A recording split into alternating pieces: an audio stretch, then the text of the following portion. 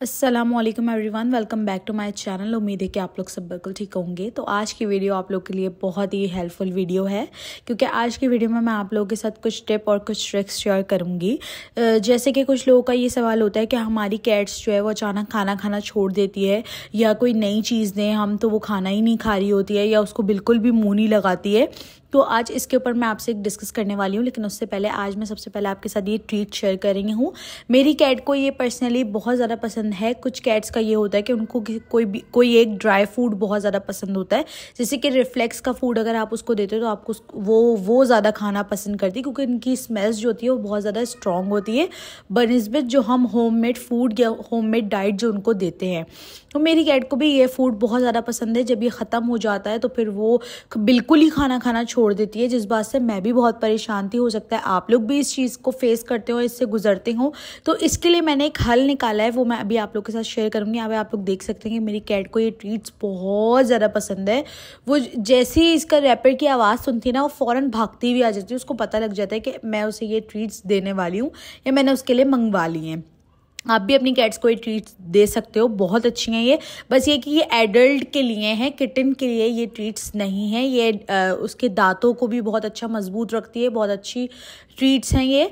तो यहाँ पे फिर मैं आपके साथ शेयर करूँगी कि मैं इसको फ़ूड वगैरह देने वाली हूँ और फ़ूड के अंदर जो है वो मैं ये ट्रीट्स डालकर उसे दूँगी और आप लोग हैरान हो जाएँगे देख कर के वो जो फ़ूड जो नॉर्मल डेज़ में वो नहीं खाती वो फ़ूड वो अचानक से खाने लग जाएगी। तो यहाँ पे आप लोग देखिएगा।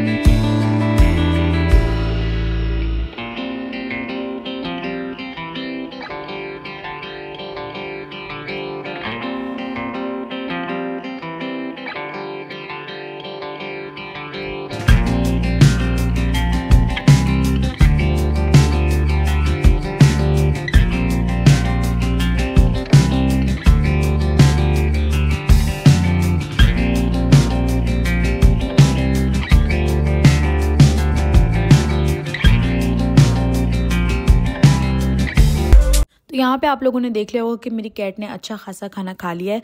तो आप लोग भी यही सेम चीज़ कर सकते हैं कि जो भी कैट फ़ूड आपकी कैट को पसंद है, वो आप उसे खाने में डाल के दे सकते हैं।